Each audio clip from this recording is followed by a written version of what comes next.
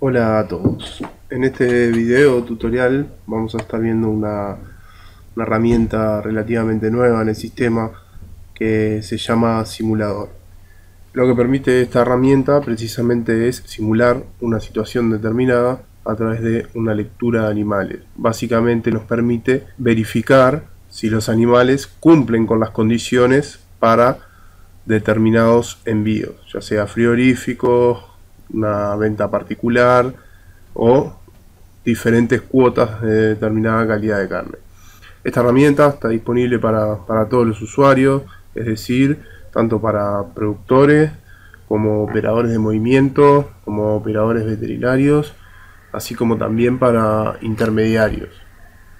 Nosotros en este ejemplo vamos a visualizar la herramienta en el canal veterinario, es decir, cómo haría un operador veterinario para poder utilizar la herramienta de simulación, pero tengan en cuenta que es válida para los diferentes perfiles. En este caso estamos en el canal veterinario, es decir que ingresamos como operador veterinario y dentro del canal, en la parte de actividades, una de las herramientas que, que aparece allí es simulador. Ingresamos en simulador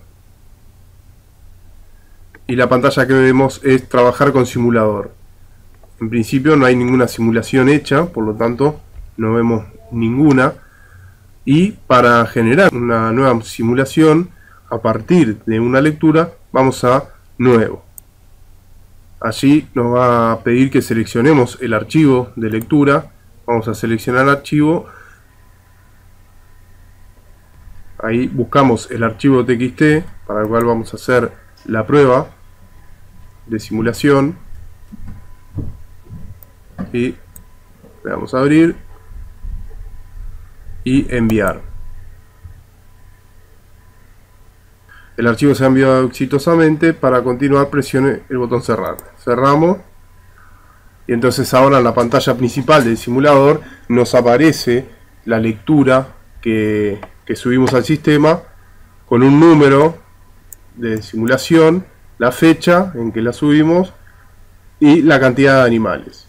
Ahora tenemos subido el archivo de lectura de esos 7 animales y lo que tenemos que decirle al sistema es qué simulación queremos hacer. Entonces desplegamos ahí y las opciones son animales registrados, control previo a guía electrónica, cuota 481, engorde corral, exportación regular o cuota suiza de alta calidad. Lo primero que vamos a hacer es animales registrados. Esta simulación nos permite verificar los datos de esos siete animales que están contenidos en la lectura. Entonces vamos a reporte para que nos genere el reporte y allí lo que nos va a pedir es que indiquemos el DICOSE de propiedad, el lugar físico y la fecha prevista de la transacción. Ingresamos los DICOSES,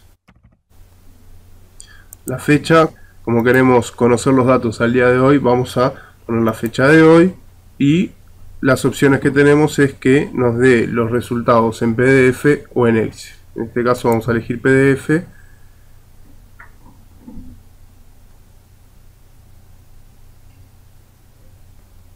Y así es como vemos la simulación para esos animales en los dicoses que indicamos.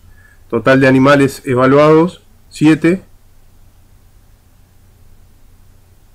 Y aquí están cada uno de esos animales que estaba contenido en la lectura. Como ven, nos da los datos de cada uno de ellos. Sexo, raza, cruza, edad, el dato de permanencia en días y el estatus de trazabilidad que tienen. Esta constancia la podemos descargar a la computadora, imprimirla para tenerla en formato papel o volver a consultarla en el momento que queramos. Vamos a cerrar. Vamos a cerrar esto.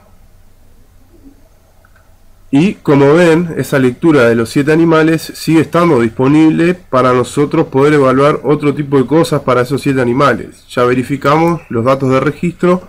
Ahora para el ejemplo vamos a elegir control previo a guía electrónica. ¿Esto qué es? Simular como si fuéramos a hacer una transacción que no implique un envío de animales a frigorífico exportador. Es decir, es una transacción común. Con la misma lectura elegimos control previa guía electrónica y vamos a reporte. Nos va a pedir para esa simulación los dicoses involucrados en la transacción. Vamos a ingresar los dicoses.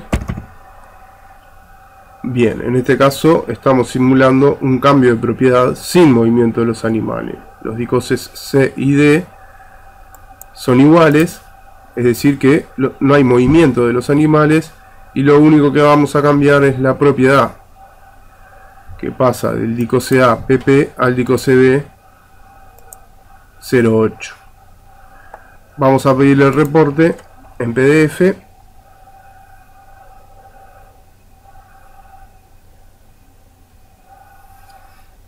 entonces ahora el sistema evalúa los animales incluidos en la lectura según los dicoses que nosotros ingresamos para simular el movimiento.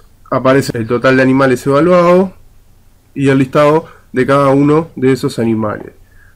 Son esos siete animales y en este caso los siete animales están en condiciones de realizar esa transacción. En caso de que se presente alguna inconsistencia en alguno de los animales, nos aparecería abajo a modo de advertencia cuál es la inconsistencia y el motivo por el cual ese animal no puede ser incluido en esa transacción.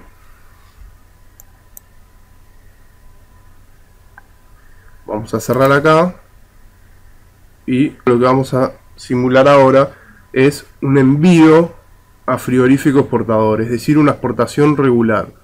Recuerden que esto implica este tipo de movimiento implica una certificación por parte de un veterinario de libre ejercicio acreditado y un veterinario oficial, además de un preembarque de animales certificados. Pero para realizar la simulación y ver si los animales incluidos en la lectura cumplen con las condiciones para poder ser enviados a un frigorífico exportador, hacemos esta simulación.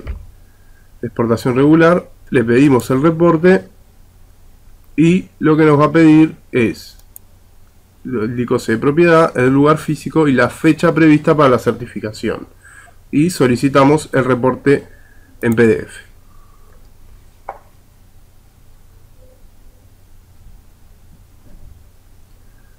Bien, allí lo que tenemos es la simulación de certificación a faena exportación regular. En este caso lo que nos va a decir es si los animales que incluimos en la lectura cumplen con las condiciones para el envío frigorífico o de lo contrario no cumplen con las exigencias o directamente no son aptos para ese envío. En este caso, los siete animales cumplen con las exigencias específicas para el envío a frigorífico exportador. En el caso de que alguno no cumpla con las exigencias específicas o no sea apto para el envío, figuraría en estos dos casilleros. Y ahora, por último, para tener otro ejemplo de simulación, vamos a simular lo que sería un envío a engorde a corral. Para eso, supongamos que realizamos la lectura de animales que van a ir a engorde a corral y lo que queremos ahora es realizar la simulación para ver que se cumplan todas las condiciones para, para ese envío. Entonces vamos a subir una nueva lectura para generar nuevamente los reportes. Y entonces ahora tenemos dos el mismo de 7 animales que ya teníamos y ahora generamos uno nuevo de 5 animales para el cual vamos a simular el engorde, el envío a engorde a corral. Entonces, de la misma manera, para estos 5 animales elegimos engorde a corral y vamos a generar el reporte. Ahí lo que nos va a pedir son los dicoses de origen y el, un dicose de engorde a corral, que sería el dicose de destino, para poder evaluar si esos animales están aptos o no. Ingresamos los números y lo otro que nos pide es la fecha prevista de, para el envío y la fecha prevista para la salida a faena y generamos el reporte.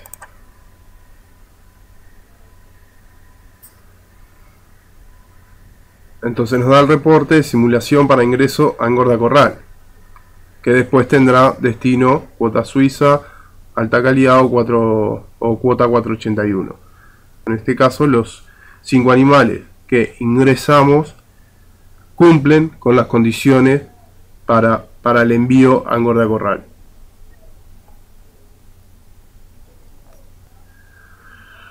Ahora, para que vean un ejemplo de cuando el sistema advierte que no se cumplen las condiciones, con los, con los siete animales que usamos inicialmente, con la lectura de siete animales que usamos inicialmente, vamos a pedirle una simulación de engorda corral y ver cuál es el reporte que nos da el sistema.